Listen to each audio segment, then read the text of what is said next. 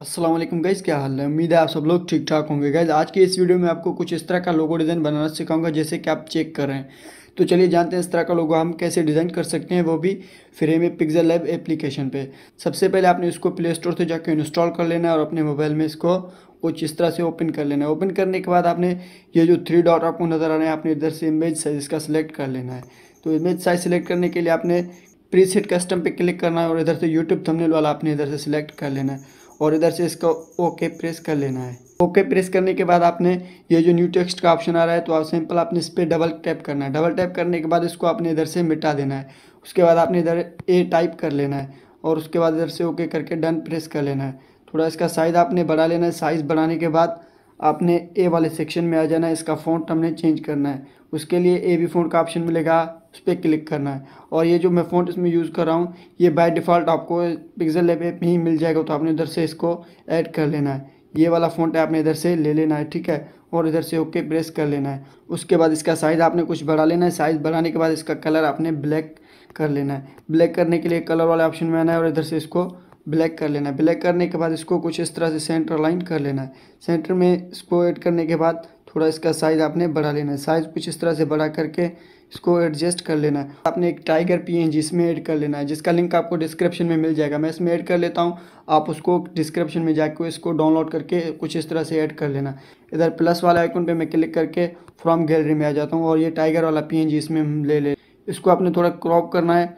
Crop करके आपने कुछ छोटा करना है इसका साइज़ ताकि हमें टाइगर ही चाहिए।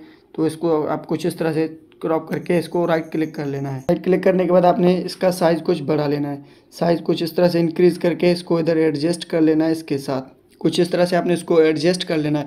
एडजस्ट करने के बाद आपने लेयर वाले ऑप्शन पे क्लिक करना है और फ़िलहाल के लिए आपने ये जो टाइगर पीएनजी आपने इसको हाइड कर लेना है। हाइड करने के लिए सिंपली आपने ये जो आई वाला आपको आइकॉन नज़र आ रहा है सिंपली आपने इस पर क्लिक करना है तो ये हाइड हो जाएगा और इधर से लेयर को हटा लेनी है लेयर को हटाने के बाद आपने क्या करना है, इधर आपने प्लस वाले आइकन पे क्लिक करना है और शेप्स में आ जाना है। शेप्स में आने के बाद इधर से आपने ये ट्रायंगल वाला शेप्स इधर ऐड कर लेना है। इसको ऐड करने के बाद इसका साइज़ आपने छोटा करना है, ठीक है? साइज़ छोटा करके इसके अंदर बीचों बीच इसके प्लेस कर लेना है, ठीक है? थोड़ा आप इसका साइज़ बढ़ा के इसके अंदर कुछ इस तरह से इसको एडजस्ट कर लेना है। कुछ इस तरह से एडजस्ट करने के बाद आपने दोबारा आपने जो जो टाइगर पी एन हाइट किया था, इसको आपने अनहाइट कर लेना है। अनहाइट करने के बाद आपने इधर से इस लेयर वाले ऑप्शन को हटा लेना है। अभी आपने क्या करना है? टाइगर जो टाइगर पी एन इसका एक कॉपी बना लेनी है और हेक्सागोन वाले शेप्स में आ जाना है और इधर से इसका एक कॉपी बना लेना है। कॉपी बनाने के बाद आपने ये जो कॉपी आपने बनाया इसका कलर हमने वाइट कर लेना है। लेना है वाइट करने के लिए आपने कलर वाइट करने के बाद आपने इसको टू बैक कर लेना है, ताकि ये इनके नीचे आ जाए, ठीक है? तो बैक कर लेना है इसको इधर से आपने, कुछ इस तरह से ये नीचे आ जाएगा। उसके बाद आपने दोबारा लेयर वाले ऑप्शन पे क्लिक करना है और इन सबको लॉक कर लेना है, ठीक है?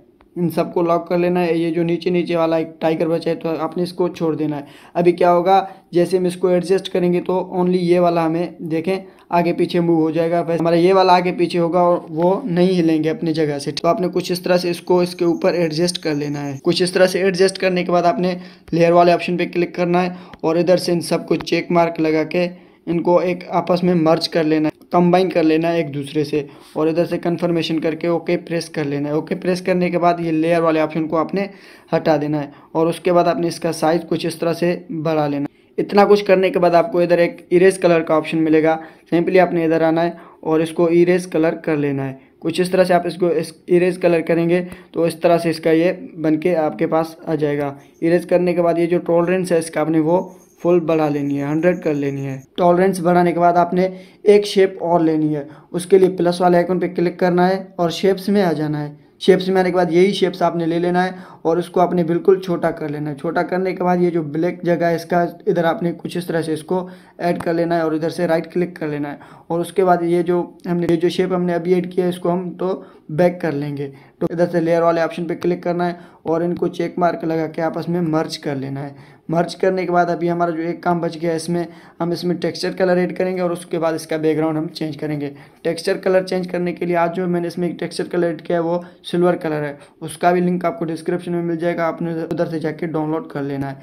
मैं सिंपली इसमें ऐड कर लेता हूँ टेक्स्चर कलर और इधर से राइट क्लिक कर लेता हूँ। तो कुछ इस तरह से इसमें टेक्सचर कलर ऐड हो गया है। अभी आपने क्या करना है? अगर आप कलर वगैरह भी देना चाहें तो वो भी दे सकते हैं। अपने हिसाब से मैंने इसमें गोल्डन टेक्सचर ऐड किया है। तो अभी आपने क्या करना है? थोड़ा नीचे आना इम्बोस वाले ऑप्शन में और उसके बाद इम्बोस को इसको इनेबल कर लेना है। और कुछ इस तरह से इम्बोस वगैरह का सेटिंग आप कर सकते हैं जिधर आपको अच्छा लगे आपने उस, उधर कर है ये देखें, बहुत सारे ऑप्शन इधर मिल रहे हैं आपको इम्बोस में, ठीक है?